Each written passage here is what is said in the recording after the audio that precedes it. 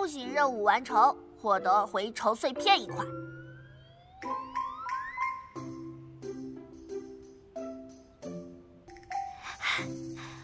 这么容易就获得回城碎片了，那看来集齐十块也不是什么难事嘛。咱们下个任务什么时候开始啊？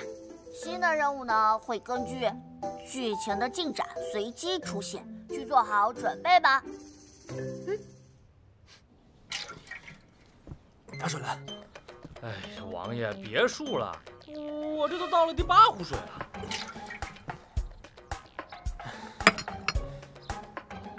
这个女人简直厚颜无耻，太不要脸了，必须给她下马威，否则以后更加无法无天。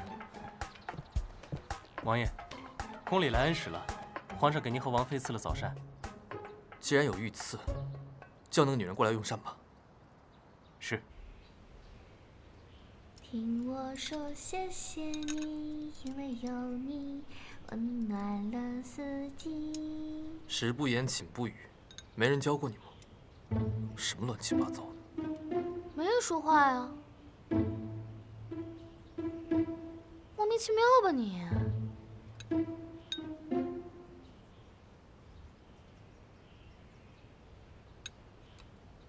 就你懂规矩，懂那么多，昨天晚上还不是着了我的道？你还好意思提？嗯，大哥，真没人说话？王爷，王妃确实没有说话呀。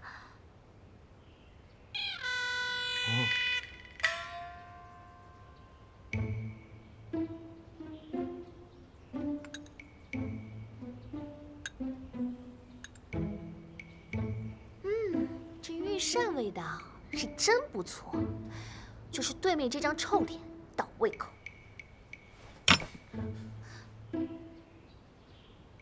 干嘛呀？吃饭呢。饱了。脾气真大。输不起。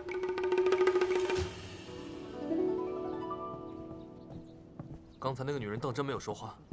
确实是没说啊，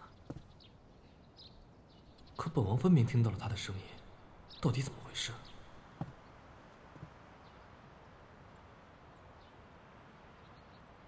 王爷，王爷，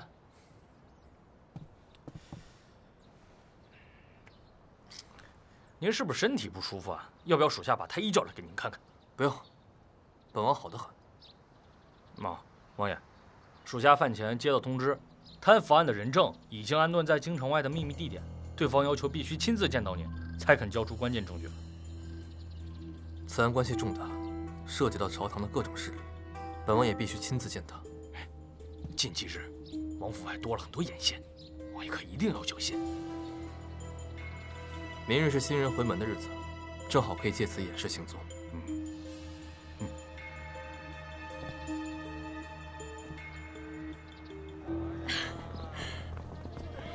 岳父岳母大人，哎呦，王爷客气了，可回来了。娘，成婚几日，王爷和小溪相处的还好吧？嗯，挺好的。我这个女儿啊，骄纵惯了，刁蛮任性，跟她娘啊，那简直是不一样嘛。你看她娘知书达理，再看我家女儿，以后的日子啊，还请王爷。多多包涵，多多包涵。岳父大人客气了，您为我大圣国劳苦功高，征战半生，看在您的面子上，本王也会多多包容的。是啊，洞房花烛夜，连弓箭手蒙汗药都用上了，确实够包容的哈。哼哼。长辈面前，说话要注意些。我没说话呀。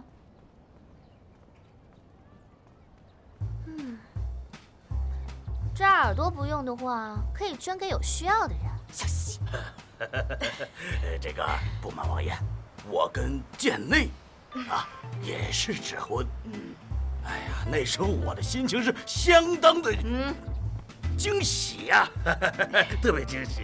哎呀，又惊又喜。可是随着夫妻之间嘛，日子长了，感情就越来越深厚了。那咱就别站在外面说了。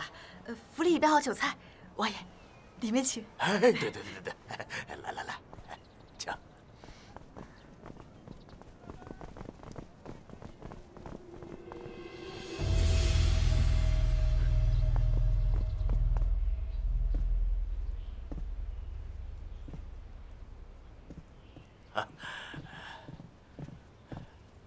王爷，下人的衣服已经拿来了，快马也已在城外备好。有劳岳父大人。王爷查处贪腐案，乃是为国操劳，老夫自然应该是鼎力相助啊。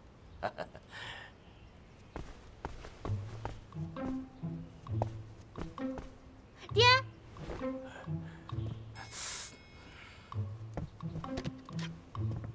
你们在这干嘛呢？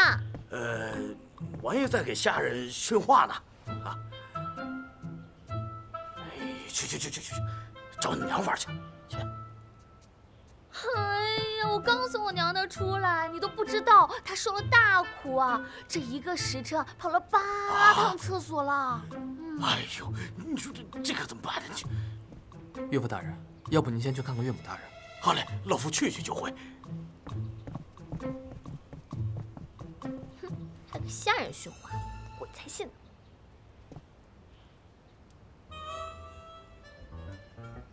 原剧情到了这儿。秦川就要乔装改扮去见贪腐案的人证徐掌柜。哼，说说完鬼才信之后，你没有再说话吧？当然没有了。你这年纪轻轻的，怎么这耳朵还不好使今日本王还有要务，忙完之后自会带你回府。你好好留在家里。哦。唉，秦川这可怜的家伙，还不知道等待他的是什么呢。虽然现在外面晴空万里，但是在他和徐掌柜见面之后，突然就会下起大雨，然后徐掌柜急着去解手，没想到就被雷给劈死了。